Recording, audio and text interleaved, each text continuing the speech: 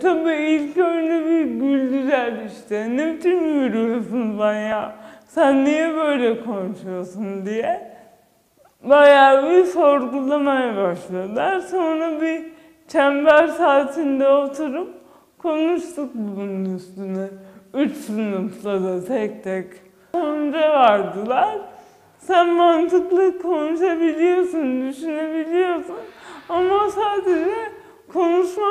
Hareketin yavaş. Onlara yardım ed- edip edemeyeceğim konusunda şey tereddütleri vardı. Sonra işte bana sorular sordukça aa iki üniversite mi okuyorsun? Ya da aa öyle mi? Çok kalın bir kitapla mesela bir gün okuma saatinde ben de açtım o kitabı. Onları okuyorum. Onlar da hikaye kitaplarını okuyor.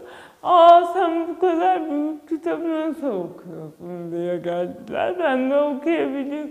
Hani biraz teste tabi tuttular gibi beni. Hani acaba gerçekten anlıyor mu? Acaba bize yardım edebilir mi diye.